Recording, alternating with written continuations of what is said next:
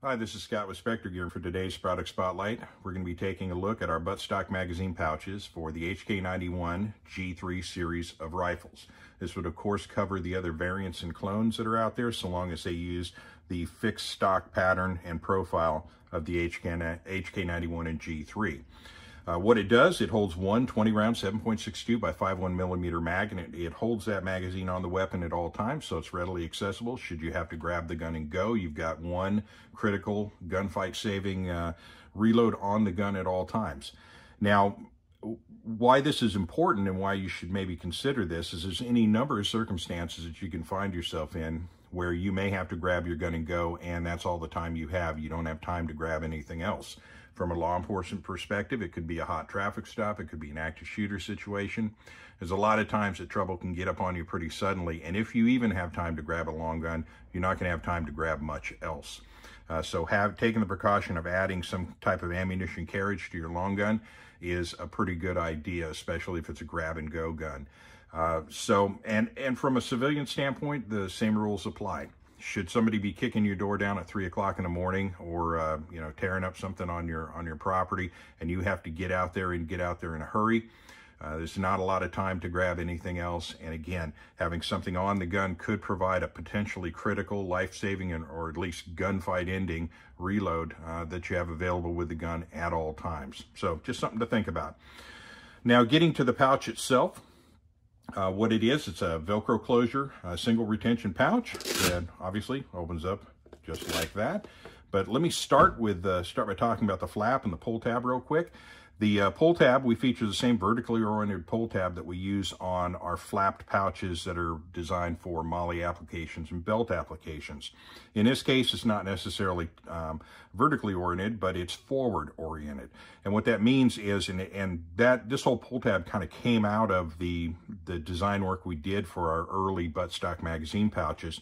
And we had to consider that if you're reaching over the top or, or under the bottom of the gun, we don't want you to have to reach any further back than you absolutely have to in order to get this flap open.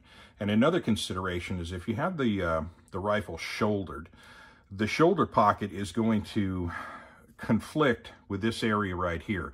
And if you have a pull tab that's coming off the end of the flap, it can be difficult to compete between your shoulder and your arm and try to fish in there and get that flap open. And invariably, you'll have to grab a, a top or bottom corner in, in order to open the flap. Instead, what we've done is this pull tab is now fairly far forward in comparison. So all that you need to do is just grab the end of that tab and pull and it's open just like that. And of course, Velcro closure with hook on the flap and uh, loop on the pouch body. Contained within, you see the magazine right there.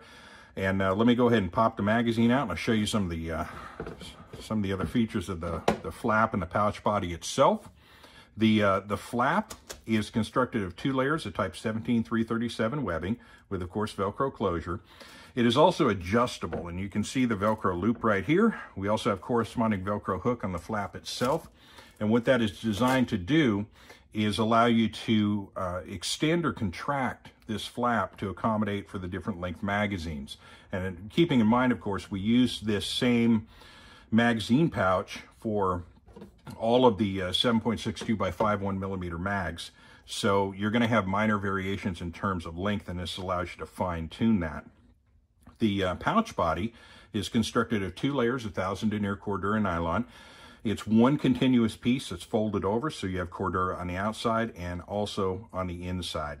We uh, also have another feature which is kind of unique, and you can see the stitch lines for it here.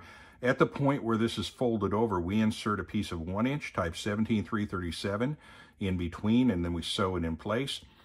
And what that does is it provides a more rigid pouch mouth opening so that uh, the magazines uh, are easier to go in and out. And if you're dealing with a, with a magazine that has a locking tab, and that's, that's an issue, for instance, on the FNFAL, and that's an issue on the uh, M14 mags. On the G3s, the other issue is these little tabs that come off right here. Um, those have a tendency to snag on things like edge binding. So what we did is we provide a completely snag proof opening so that there, it's not going to catch on anything coming in and out. Um, and that's really about it in terms of the uh, pouch body and flap. The back face, this is all sewn to, is two layers of 1000 denier Cordura nylon with two layers of 1250 ballistic nylon within. Now let me show you how this attaches, and it's um, this is where this kind of takes a, a pretty stark departure from the uh, buttstock magazine pouches for the FNFAL and uh, and the M14. Um, it utilizes a stirrup type rear adapter. However, the stirrup type rear adapter is not um, a stirrup type rear adapter that's used for this sling application because the G3 slings, and let me uh, grab a sling real quick so I can show you. And as a matter of fact, I'm going to go ahead and take this off so I can make it a little a little more clear. Well, let me pull this loose, and we can get a closer look also at the actual back face. Let me turn this over. So any sling that you would purchase for an HK91 G3 type weapon is going to feature a rear slider rather than a stirrup type rear adapter and it's going to be designed to interface with this sling bar that's in the stock itself. So you don't, if you purchased a G3 or an HK91 sling, you will not be provided with the stirrup adapter that you would be provided with, for instance, if you purchased an M14 or uh, or FNFAL sling. Now we uh, we sell a basic kit where you can uh, you can attach you can buy the kit to attach to the sling that you're purchasing, and and that's nice. However, um, that option is not available with this particular gun because if you own the sling, you don't have one of these. So you have to buy the standalone version. That's the only way this comes um, because you have, this obviously can't, it has nothing to attach to. It has no adapter to attach to here, so you do have to buy the stirrup rear adapter. Once you've done that, you can elect either use the loop that's on the actual buttstock magazine pouch's rear adapter, or you can continue to use the loop on the stock. One interesting factor though, um, this, and, and it kind of goes to point out that this pouch is completely ambidextrous. And at this point, let me break and let me digress slightly and talk about the back face and how everything attaches to it. Um, we have our front attachment strap, which of course controls the front movement of the pouch, and then we have the rear, which controls at, obviously, the rear.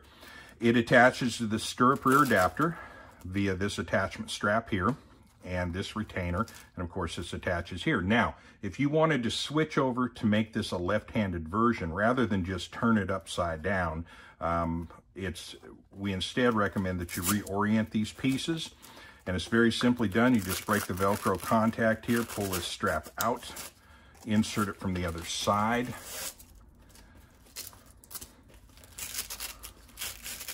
like so. Do the same at the rear.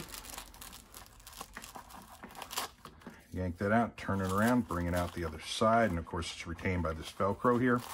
Move it all the way to the rear. And then we would uh, attach to the rear, the cross strap of the rear adapter on this side. Okay, simple as that. And now it's set up for a left-handed variation and then I'll be able to finish the thought that I was about to make. So now it's set up for a left-handed variation in that the pouch is going to be on the left side of the stock rather than the right. One interesting advantage that this gives you is if you have one of these guns. Now, some of the, I've seen some HK91s um, that have the the rear attachment point for the for the sling on this side.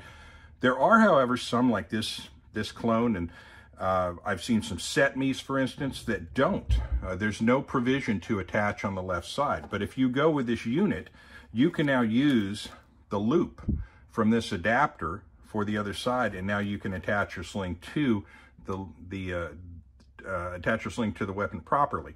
It's just a thought, just a, a little tiny added bonus to it, but uh, it is there and it is a thing. So that's really all there is to it. Again, there's just the one version of this that you can purchase, and that is the buttstock magazine pouch for the HK91G3 with the rear adapter provided. There is no kit that goes with this, so there should be no confusion. Only one variant. if you buy the buttstock magazine pouch kit, and it is available on the page, you may see that and say, well, that's all I need, right?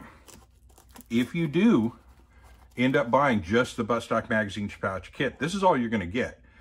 And there will be no way to attach this to the gun. So if you have a G3 HK91 type gun or one of the clones or variants, you have to buy and must buy the one with the rear adapter provided, and you will receive this stirrup rear adapter um, along with your purchase. So I hope that uh, makes that clear. There's really not much more to say about it. It's uh, uh, a simple, robust pouch and uh, provides you a, a very effective means of carrying a spare mag on the weapon at all times. So with that, I will uh, go ahead and bring this to a close. And as always say that these products are manufactured right here in the uh, United States in Visalia, California. And for more information or for purchasing, you can contact us at www.spectergear.com. And with that, I will say thank you for watching and have a great day.